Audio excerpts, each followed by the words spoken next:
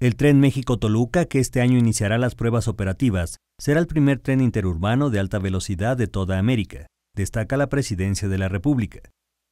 En su página de Internet señaló que en el sector ferroviario el transporte de carga ha crecido 9%, mientras que el de pasajeros 27%. En tanto, el comercio exterior que se hace a través del ferrocarril se incrementó en 52% al haber pasado de transportar poco más de 50 millones de toneladas en 2012 a 77 millones de toneladas. Destacó que en infraestructura para México en 2018 comenzará a funcionar la red compartida que llevará Internet a más mexicanos a menores precios e iniciará el funcionamiento de la primera etapa del nuevo puerto de Veracruz. Además, refiere la presidencia, se logrará más expansión del sistema de gasoductos en un sexenio, al llegar a más de 7.400 kilómetros de gasoductos construidos. Notimex.